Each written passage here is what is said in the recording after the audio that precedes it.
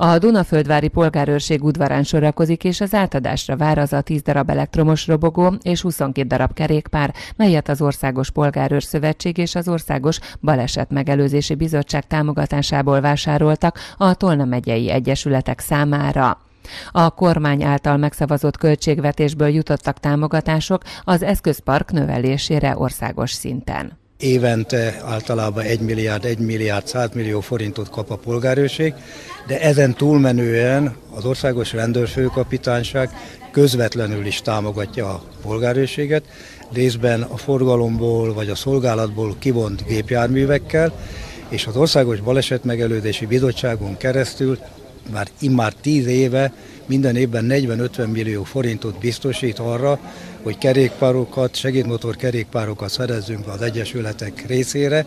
Tolna megye több tucat egyesületéhez is került ezekből a járművekből. Túros András elnök átadó beszédében kiemelte, az országban szinte egyedüliként Bátaszék öt településen lát el önkéntes polgárőri feladatokat.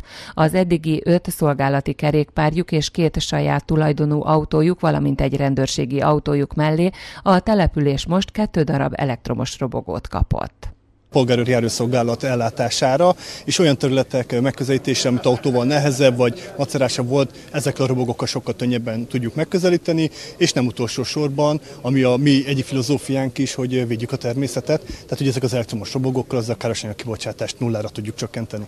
A járművek mellett laptopok és okostelefon is került a megyei egyesületekhez, melyekkel még hatékonyabban tudják munkájukat teljesíteni a települések önkéntesei.